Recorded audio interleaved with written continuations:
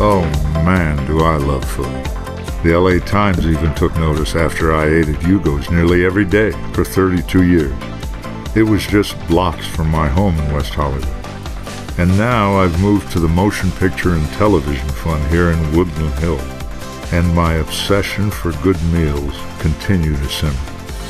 Join me as I explore our food options here on the Wasserman campus.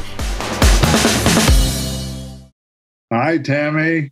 Hi, hi, Phil. Nice to talk to you. It's a pleasure uh, to talk to you, and you're on the other side of the ocean, aren't you?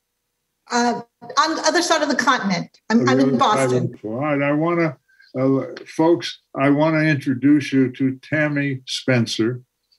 And Tammy Spencer has a wonderful, wonderful website called Scotch and Scones. And I want to read something from the website.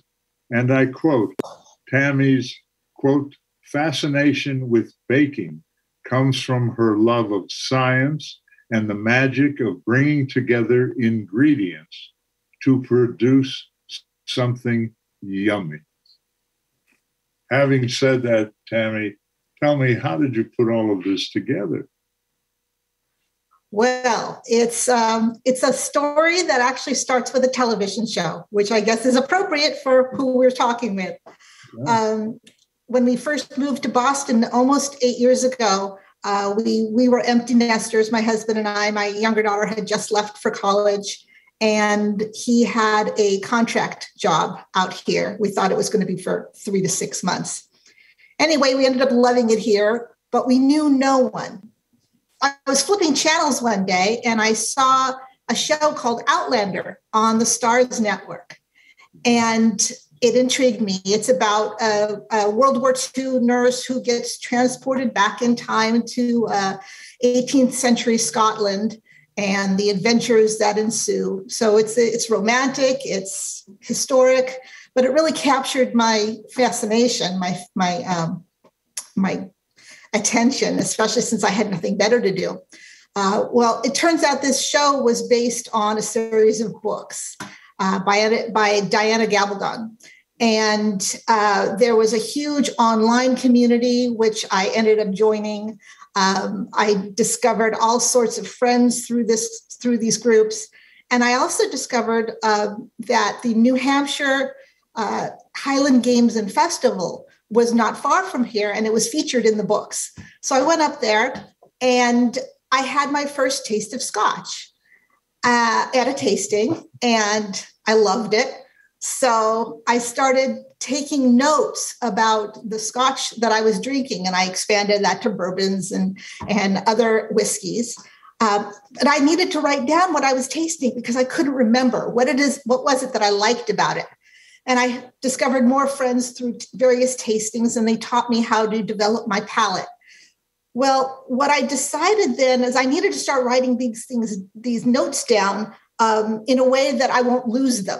So I had started a blog prior uh, when we first got to Boston. I had just been writing about my my love of the city, and so I decided to start writing down the tasting notes.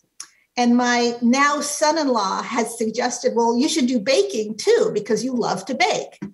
Um, and I said, well, I would call it what, scotch and scones or something like that. And he goes, ditto, yes.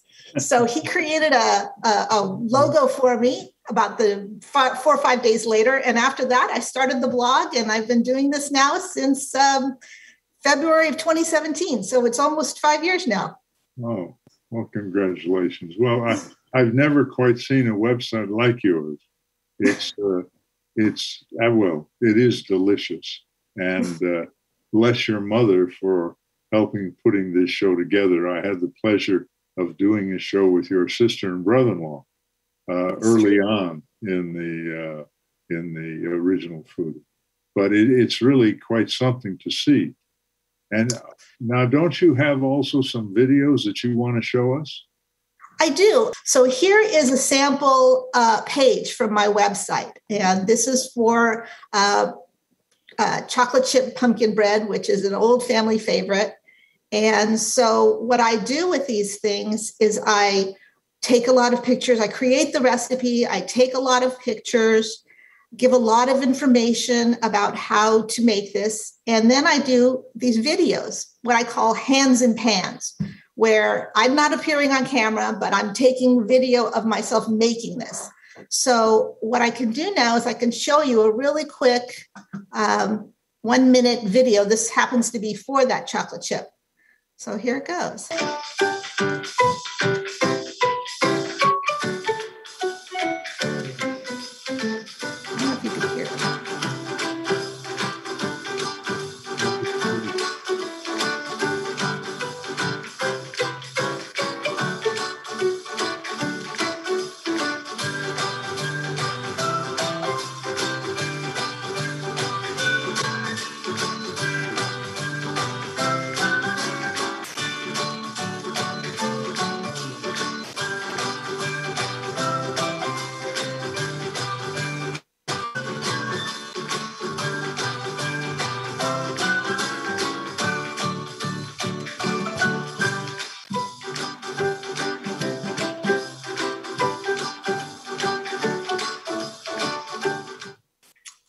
Well yeah, done, so. Well done. Okay, so we're back to the uh, we're back to the web the web page, and so all the stuff that you just saw in the video, mm-hmm. um, I take pictures and I actually put them in here. So um, here's the original recipe. Um, here are the ingredients you would use and then so forth, how to make it. And so those steps that you just saw in the video, I enumerate them one by one, show um, what things should be looking like. Um, so I go through all that. And I'll kind of skip past all this for now. Um, and then I have a section called questions, asked, and answers. So in case somebody has some questions, you know, maybe I can anticipate the questions and um, and answer some questions people might have. So there's that. Um, I try to do a little pro tip on a good way to to do these things. Sure. Um, and I finish it off with a little review, some related recipes, and then down below here, this is the actual recipe. So you at home could be following this recipe and make it. So I've given you the pictures, what it should look like, maybe some questions you might have, and then the real recipe is down here. And so that's the structure of, of the website. Um, on the home page, you go to the home page. Um, I try to just give some suggestions of, of things that might be relevant for the current time. So, for instance, of course, Thanksgiving is coming up. So, here are some sample recipes that uh, you might be interested in making for Thanksgiving. Um, down below, I will have other other types of suggestions, the popular recipes that people are looking for. So I, I, focus now much much more on the baking side of my blog rather than the uh, than the reviews that I was talking about earlier. So if you wanted to see, let's say, what a review looked like, let's see, we'll go to a Highland Scotch, and this is um, I here's Glenmorangie Allta and Ardbeg Drum and what I'll do is I'll show some pictures. I'll try to give a little bit about some some sort of discussion about something interesting about this particular this particular uh, scotches that I'm sampling. And then here's where the actual review starts. So I talk about what the what the scotch is. It's ABV, alcohol by volume, its strength, and then my tasting notes.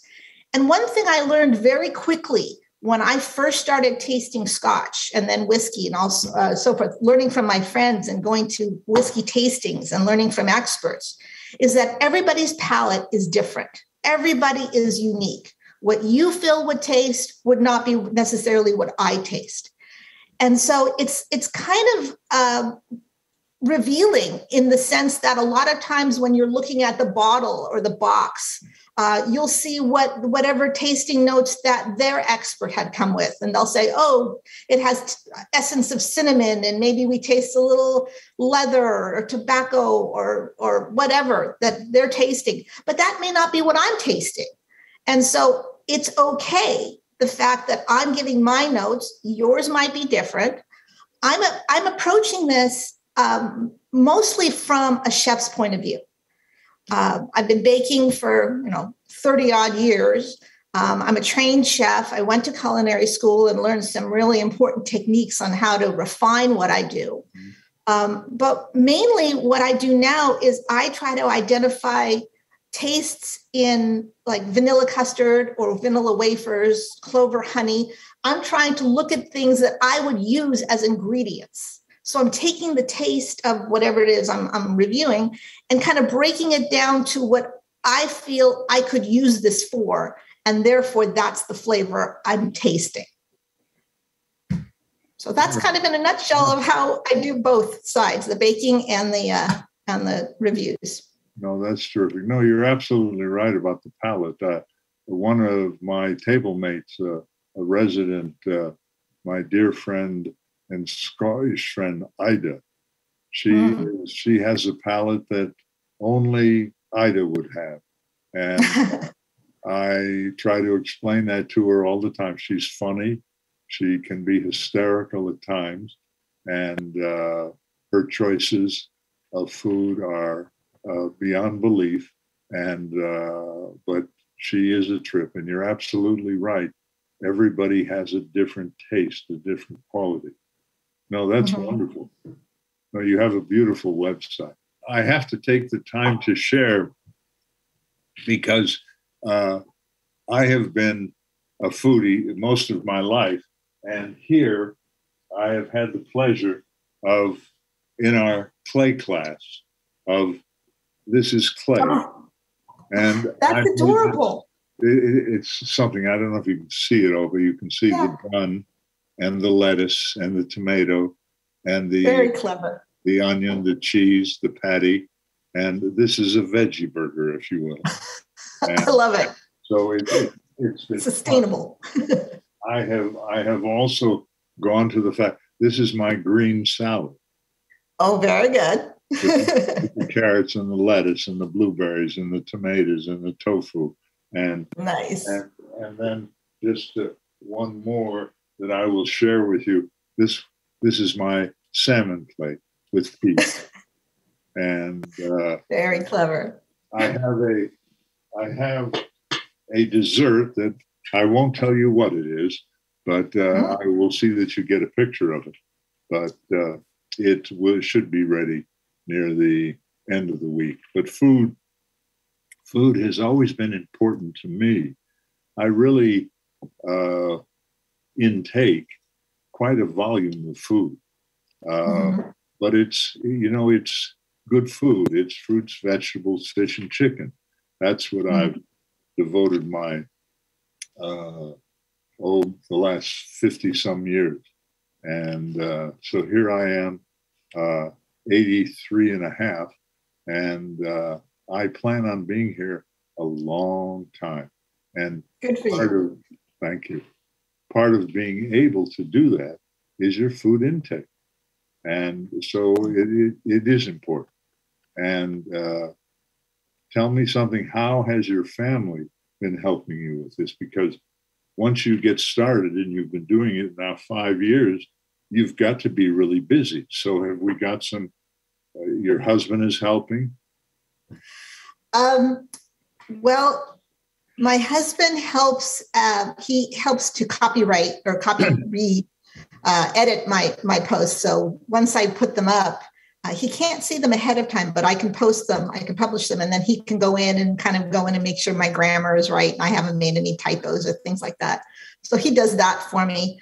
Um, and he's also my financial guru because my husband is uh, he's he's in healthcare. He's a finance director for a home healthcare company here in in Boston, in Massachusetts, and so finance is his big thing, and I let him do that.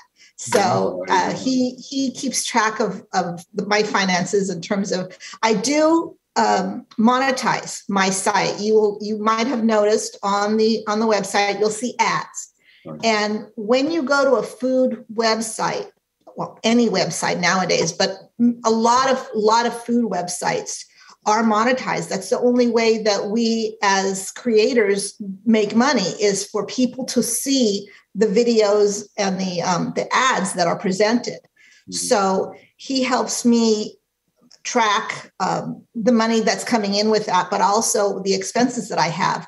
Um, there and there are a good number of expenses with a website. You have hosting fees, you have um, various tools called plugins that uh, are that we use to create the site, to maintain the site. Um, then there's consultants that uh, I use either on a one-time basis or on a on a monthly basis for technical issues. So that that those kinds of expenses he helps me to keep track of my daughters and well, both my daughters are grown. My young my younger daughter is getting her PhD in um, South Carolina in Clemson, and my older daughter uh, actually lives not too far from here with her husband. Um, both of them are very avid helpers in tasting. So if I want to bake something, I can bring it to them, and they will be more than happy to taste whatever it is I'm baking. Um, I'm so sorry as, you're so far away. I would be. I know. Although I do ship things. Um, my mom, I, I, have shipped stuff to my parents uh, in the past. My sister, um, when my younger daughter Ariella was in, uh, she went to UC Berkeley, and we were here in, in Massachusetts. So I would ship her care packages, and I still do to down to uh, South Carolina. So I do ship. So there's That's that. good. Okay, um, I will. I will definitely keep that in mind. Now, tell me, with all of this and the baking, the cooking, the everything that you're doing. Has there been something that has been that you'd like to do but it's a little it's difficult to do? Uh, or you uh, a particular food or anything like that that you've uh, run across? I most of the stuff in my when i first started blogging it was more like a food diary in that I would try to make something and then I would write about my experience with making it, which is why my tagline is explorations in the glass and in the oven. As I continue to gain confidence and gain experience with blogging, I've so far kind of altered the, the, the focus to now being more instructional rather than more conversational. So the biggest challenge that I have is time um, it was only recently that I was able to devote myself full time to my blog, and I am doing that now. Um, but all of those early posts, I want to revamp, I want to update, I want to do new pictures. So, for instance, that pumpkin bread recipe that I was showing you earlier, that was a recipe I first published back in 2018. And the pictures I had, they weren't great pictures, but they were okay. And the post did okay but I wanted to make better pictures. I wanted to update, I wanted to add the video where in the early days I wasn't doing video. And I do everything here in my kitchen. Prior to moving here, which was only about two months ago, we were living in a very small two bedroom apartment and I was doing everything in my kitchen in my apartment. So all the lighting, all the photography, everything is stuff that I have learned how to do in a home setting. So it's not professional. It's not, I don't have, you know, staffs. I don't have makeup artists or even musicians to help me out. I do everything on my own, including um, editing the video that you saw. So I've, my biggest, uh, my biggest stumbling block, I guess, is has been time because I want so much to learn how to do everything. And there's a lot to do when you're doing this type of work. It's you're you're you're doing the writing, you're doing the baking, you're doing the cleanup, you're doing the, the photography, you're doing the videography, you're doing the promotion, because that's a big thing. It's like how Google finds me on the web. There's millions of food sites out there. And so, in order for people to be able to find my site rather than just typing in the direct address to go to my site, most of the time people put in what's called a search query how to make pumpkin bread and so then you have a list of answers that Google supplies you. And where you fall in that list is basically how successful you'll be because people will most likely choose the first three, uh, what we mm-hmm. call search engine results. And the way that you have to, I don't want to say game the system, but how you use the system, the system being out the algorithm that Google uses to present those results. That's called search engine optimization. And that is the biggest stumbling block because Google is kind of a, a like a black box. You don't really know what they're looking for. We kind of have ideas of what we're supposed to do, and and once we learn something, um, if I hadn't been doing whatever that particular thing is, I have to go back and update all of my posts so that they can be found. So my biggest challenge is finding the time to do everything. And, and I appreciate it. Now, in, in the positioning in Google, this is, of course, has always been interesting to me. Is this something that uh, one can pay for or has to pay for? Or is it Google makes those choices and sets the positions? Yeah, whatever you're looking for. When you search, when you type a, a search into any search engine, not just not just Google. I mean, Pinterest is a, is another very popular search engine. Of course, there's also Bing and GoGoDuck and all these others. But Google is the you know the 800 pound gorilla in the room. That's when everybody wants to to satisfy. No, you do not pay uh, for spots except if you're. They used to have uh, sponsored ads, and mm-hmm. those you could like pay to get on those on those certain pages. Um, I don't see those as much anymore. And I don't know if Google has done away with it, or maybe I'm just not seeing it because I'm not searching for things that would come up with ads. Um, but you do the, the actual organic way that Google presents you is based on their set of criteria um, for user experience. So they're looking at the site speed, they're looking at the clarity of your writing. They're looking at the quality of your of your photography and your and your videos. What are you presenting to the user? Are you are you structuring everything so it's easy to navigate? So those are the types of things that Google starts to use. And then of course there's all the underlying stuff about uh, things that we don't even know how they pick who they pick. But we're all trying to juggle our way, uh, jostle our way to the top, the first page of of, uh, of of the pages of the results, if you can. Do you have a favorite that you've come along with that you really like to prepare or bake, or is it something special? I mean, there's so many items there. You know it's so funny. People ask me that um, if do i have a favorite recipe? Do i have a favorite scotch? And i like to say it's it's like choosing your favorite child. Um, i say that when i'm drinking something when i'm tasting something my favorite scotch is whatever's in my glass at the moment. Because i usually can find something positive about most everything. As far as a recipe we have family favorites, things that my family likes me to make, but those aren't necessarily my favorite recipes. I just I like to play, and and what we talked, what you said in my intro about um, melding science and magic, it has always fascinated me how much um, chemistry, how much math, how much creativity goes into how we prepare food how and especially baking because baking you are altering. You're you're taking a disparate set of ingredients you're kind of putting them together in some manner and presenting it and it comes out completely different than, than the disparate ingredients you started with.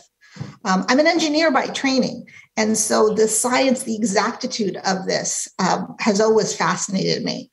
Um, but there's also creative side. Uh, you can bake a cake and I can bake the same cake, but they'll come out differently because of the, the way you've put it together versus me or how you've decorated it versus me. And there's uh, just like with the tasting notes with your palate being individual, your your presentation will be individual and there's no right or wrong unless you totally mess up a recipe and then it's inedible. But for the most part, the, the fun part is being able to figure out how to change your recipe, how to make it, not to make it better, but how to make it my own.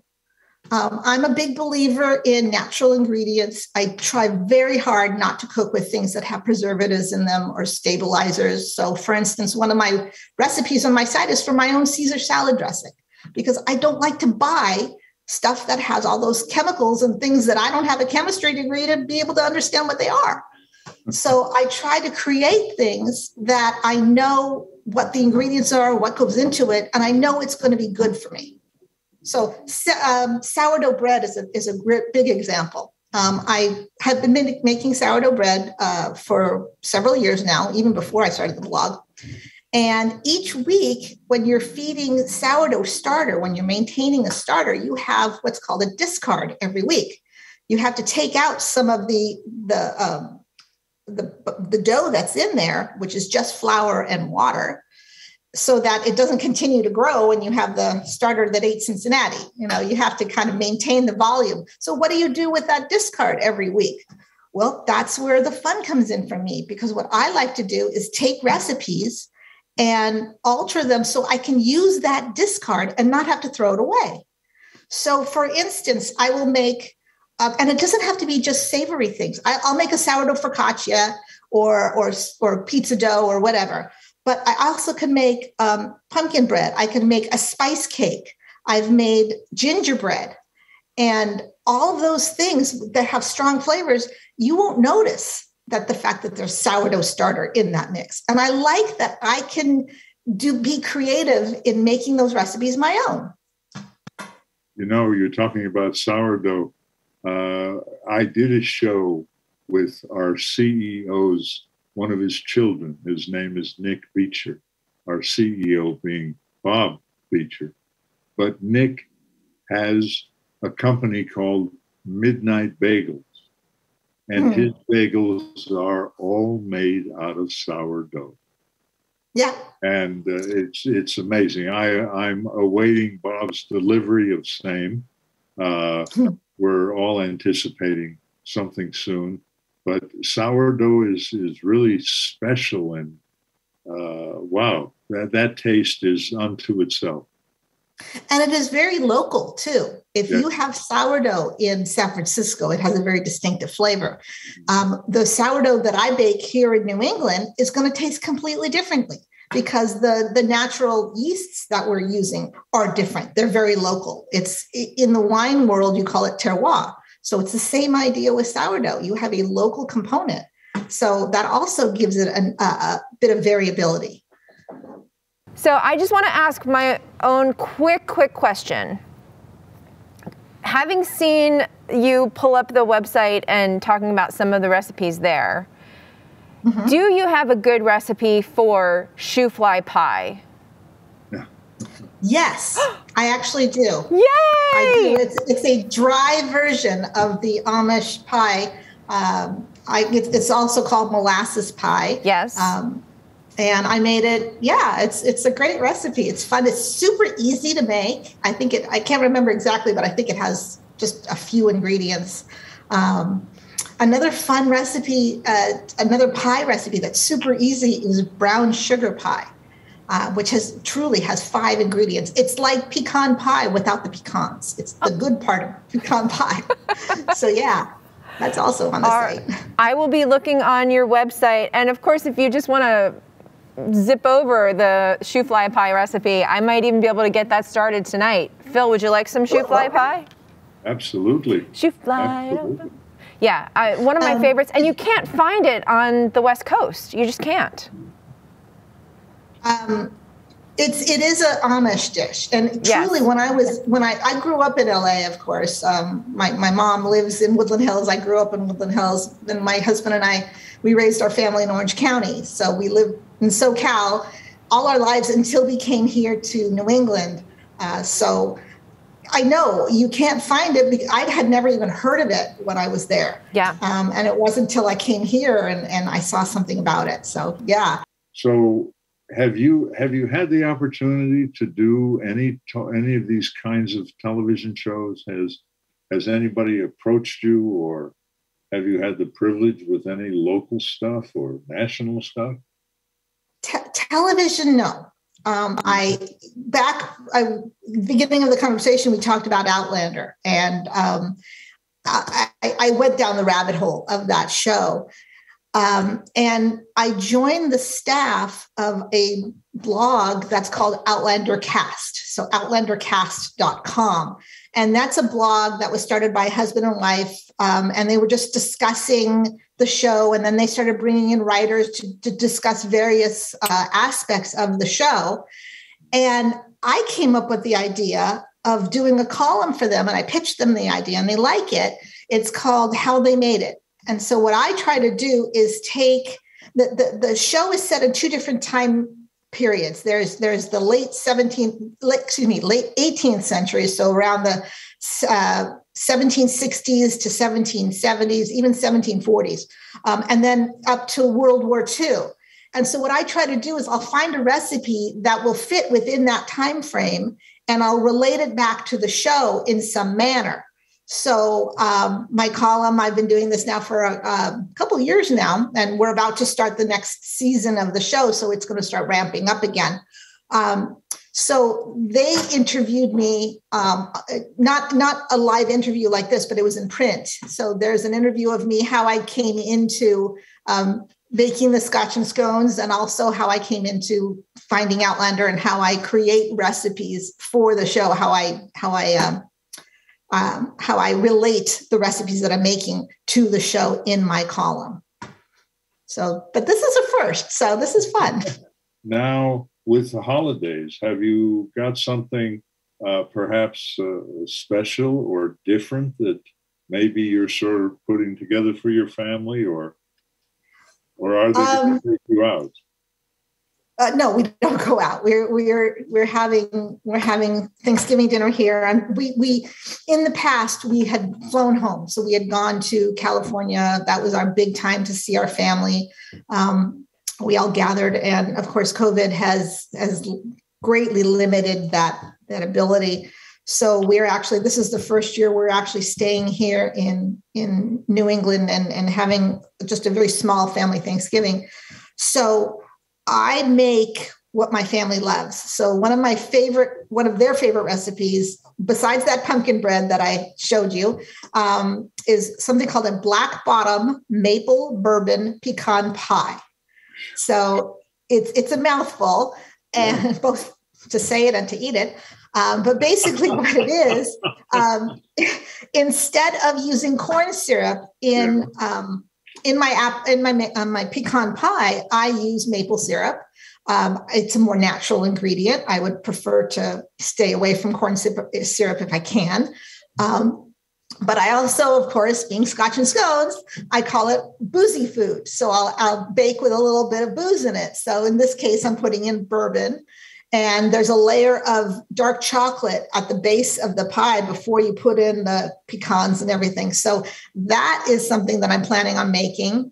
Um, what else am I planning on making? Uh, I made pecan bars recently, oh. and I shot it for the video for the um, shot video for the site, and so that I just put up, and I'll I have that prepared to bring um, to to Thanksgiving dinner. So as you can imagine, I mean, desserts are my specialty. I love to I love to bake desserts. Um, I love to cook as well. I mean, on my site, I don't have too too many like uh, meal main dish or recipes. I do have one. Um, it's a, what they call it's a sloppy Joe pasty. So a pasty is a handheld pie. You know, the Cornish pasties being the the most famous. But basically, a pasty uh, is just a pie. It's like an empanada. Um, so, but in, in, the filling, instead of using um, empanada filling or, or, whatever else, I put in, I made a sloppy Joe mix. And so I put that on. And so that's a lot of fun to make. Um, so I, I, have other some other things the, the um, salad dressings that i mentioned i have a caesar dressing i have an herb vinaigrette i have a blue cheese dressing another dressing that i like to make myself because the ones in the market are just filled with with chemicals. And I just don't like that in my family's diet. So I have a few recipes like that. Um, I also have things that I you do on the stove, not necessarily cook in the oven, like like um, homemade marshmallows. Super easy to make, not difficult at all, and you can play with the flavorings on that. So one of my recipes on the site are Irish whiskey marshmallows. so those are potent. Those you have to be careful of. Tell me about. Yeah, I, I, like to do it. Tell me about your Caesar dressing. Have you got a special ingredient that you add to that? Um, not so much special, um, but they're they're natural. So I use. I know uh, Caesar dressing. A lot of times, it tastes especially in the in the restaurants, I find they taste bland. Um, I do. I use um, four garlic cloves. I use I use um, anchovy paste rather than anchovies, only because I just don't feel like chopping up anchovies. You know, you can, but uh, anchovy paste is is convenient. Um, and lemon juice. Those are the three major ingredients. Um, and then the other thing is I make Caesar dressing with mayonnaise, uh, an organic mayonnaise that doesn't have, it's just eggs and oil. Um, I don't use raw eggs in my Caesar dressing. So it's safe. Uh, you don't have to worry about um, raw eggs, people who have um, immunocompromised or pregnant women. Um, so, so that's the kind of, of recipe I will I will change to make it safer for for everybody if I do use raw egg in a in a recipe, I notate it on the site. You know, this will this will be only for um, for people who aren't sensitive to raw eggs, for instance, or if it's a boozy food recipe um, and it's something where the booze doesn't bake out, then I will notate that and say this is adults only. You know, don't, don't this is not for the kid friendly. So, yeah, it, it's the the Caesar dressing actually it's funny because my daughter and my husband both say that I've ruined it. I've ruined Caesar dressing for them at restaurants because mine is so good. so toot my own horn there. That's very special. No, no, no, that's very nice. No, Caesar, I hear what you're saying. Caesar salad is a favorite of mine. And uh, it's uh, it just varies. I mean, even in restaurants where they will pull the cart up in front and you yeah. know do a display of, of making it. Uh, I have never heard any Caesar dressing without eggs.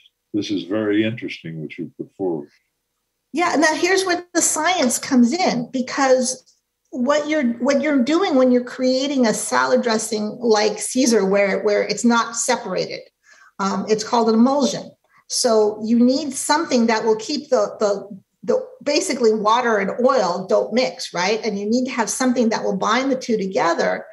And in, in the case of Caesar dressing, it's the there's something called lecithin in egg yolks. Um, and that binds the two together. Another binder is um, mustard, but doesn't belong in Caesar dressing. But if you use a, a, a natural mayonnaise, which just contains eggs and oil, it has that ability to also keep the emulsion stable. And so that's why it's safe to use. Um, you're not getting a taste, a flavor from it so much as you're using it for the binding abilities. If you have a, a food processor, um, or you could do this by hand, but I prefer food processor.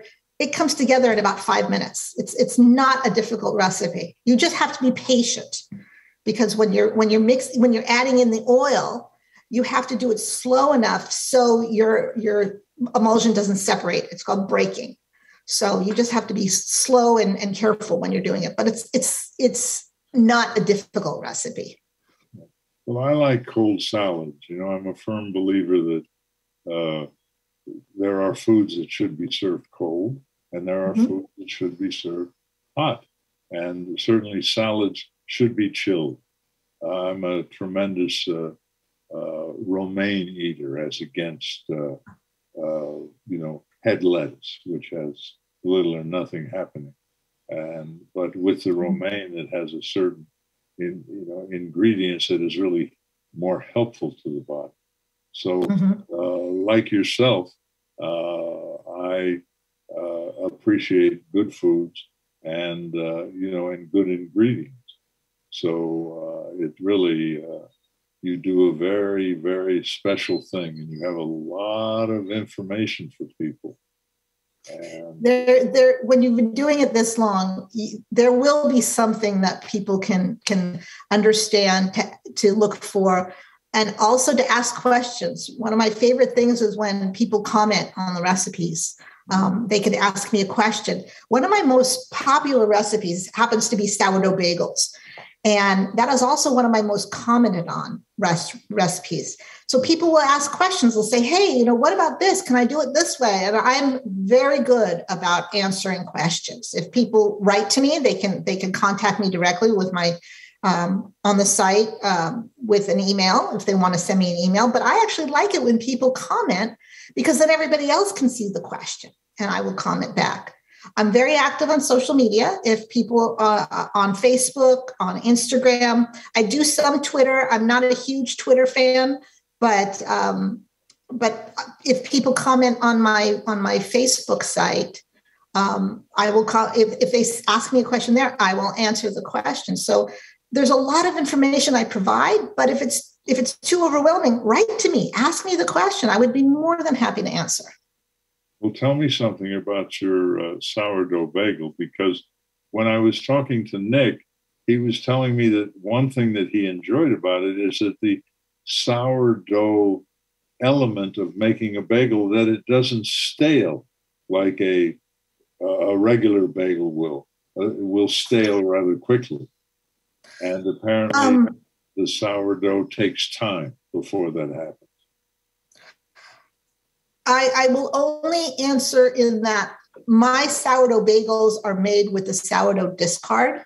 So I do use commercial yeast to kind of enhance the discard. If I were making true sourdough bread without commercial yeast, um, then and and you're just relying on the on the on the wild yeast that's in the start on the sourdough starter, um, then yes, it actually has preservation um, factors. Um, I don't do a I don't use fed sourdough starter and fo- follow the processes um, for regular for sourdough bread without commercial yeast to make my bagels, or, or I have English muffins, I have pretzels, all sorts of things. Um, I still use commercial yeast because my my main focus with that is to use the the flour and water that's in that discard rather than throw it away. I'm not using it for the properties of providing this very strong sourdough taste. Mm-hmm. Have you got something special that you might put on a sourdough bagel besides lox and cream cheese and cucumbers and onions and tomatoes? Is there some sort of secret that uh, uh, you've come up with, or a new display of food or something? No, I'm pretty much a lox and lox and cream cheese girl. I do like to put toppings on the on the bagels, so I'll make them plain. I'll put Sesame Street. Um, Trader Joe's has a seasoning mix called Everything But the Bagel. So if you're a fan of everything bagels, um, it's just the, the mix that's already pre-made, um, chopped up in the bottle. And so I just sprinkled that on. Makes a very good everything bagel. We, we have a special guest who wants to come in. I would like to ask Tama if she, Tammy if she's willing to, to, give us the recipe for her lemon do- lemon bars. They are delicious. Oh, lemon bars. Um, I I do have that on the site. Um, it's it's a, actually a mint lemon lime bar. So I kind of take it one step further. Again, making it my own. Um, let's see. I could I could share the screen and I can show it if you want. Sure, it's more most appropriate for this time of the year to have lemons. Lemons. Okay, hold on. You mentioned you mentioned earlier that you have mailed you have done some mailings to me, and this is one yeah. of the lemon bars that I have received. Oh. And even though they were mailed from coast to coast, they were as delicious as if it was made right in our kitchen. So here is here is the. Um, well, they look terrific. There's, there's the video. There's the video for it, and I'll just jump down to the recipe. We don't have to go through everything. So for those that want, here it is, and I can put it right here. Um, Perfect. You can take a screenshot or, or whatever. Perfect. Thank you. Yeah. You're welcome. Thank you. Tammy, I would like to thank you and I would like to sign off with till we eat again. Take care. Thank you.